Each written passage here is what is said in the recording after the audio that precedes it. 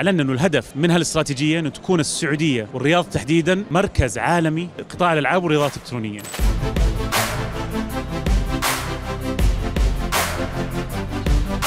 اليوم نحن بمؤتمر الرياضة العالمية الجديدة. اليوم عم نناقش التحديات والفرص في هذا القطاع. ما أهمية أن تستضيف الرياض هذا النوع من المؤتمرات؟ أول شيء شكرا وجودكم معنا اليوم. شرف لي إني أكون متواجد معاكم. إحنا أعلنا قبل سنتين آه، في السعودية وأعلنها سمو سيدي ولي العهد الأمير محمد. الاستراتيجيه الوطنية للرياضات الإلكترونية والألعاب. وفي هالاستراتيجية هدفنا أعلنا إنه الهدف من هالاستراتيجية إنه تكون السعودية والرياض تحديدا وقديه مستقبلا مركز عالمي لقطاع الألعاب والرياضات الالكترونيه، فإنه نستضيف بطولة مثل بطولة كأس العالم اللي صار معنا أكثر من 1500 لاعب ونادي من أفضل النوادي واللعيبة من حول العالم، ومؤتمر زي كذا اللي فيها أكثر من 200 مساهم سي اي أو وأكثر من هالقطاع هذا يدل الهدف حقنا ترى ما هو بعيد إنه إحنا منطقة ومكان الناس لازم تاخذها بجدية إنه إحنا داخلين بجدية بهالقطاع. وهذا استثمار ما هو بس في قطاع عالمي ولكن في شبابنا وشاباتنا في السعودية. أسسنا الآن مسار مهني موجود في السعودية في هالقطاع موجود الآن وقاعدين يساهمون فيها شبابنا وشاباتنا. هذا شيء فخر لنا.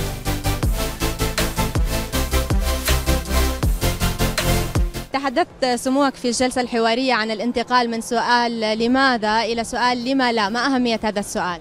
هذا مهم جدا. إحنا أول ما بدينا كان كل محادثاتنا مع المساهمين في ذا القطاع ليش نجي السعودية؟ ليش نشتغل معاكم؟ ليش نسويها الآن؟ الآن تحولت هالموضوع. صار كل يوم يجينا مكالمات. ليش ما عندنا مكتب في السعودية؟ ليش ما عندنا بطولة معاكم؟ ليش ما إحنا بحاضرين في بطولة كأس العالم؟ ليش ما إحنا حاضرين في الدوري السعودي الإلكتروني؟ والرياضات الإلكترونية اللي عندنا أبطال مو بس أي لاعب. عندنا ابطال عندك مساعد الدوسري بطل كأس العالم عبد العزيز الشهري بطل كأس عالم فيفا عندك بطولة ال Overwatch اللي فزنا بكأس العالم السنة اللي فاتت نجد الفهد فاز بكاس العالم للجامعات في آه، فيفا عندك Falcons Vega من أفضل الفرق في لعبة Valorant بناتنا من السعودية طلعوا من الدوري ال MENA وصاروا يلعبون في أوروبا عشان من كثر ما هم أقوياء. عندنا أبطال عندنا مهارات. الآن في السعودية في قطاع الألعاب تواجد المرأة تقريبا 49% وهذا يعني في حول العالم هذا تقريبا نفس الشيء ما بين 47 إلى 49% عالميا. ولكن في القطاع الرياضات الإلكترونية في المحترفين في السعودية مساهمين معنا أكثر من 20% من المجتمع. الرياضات الإلكترونية المحترفين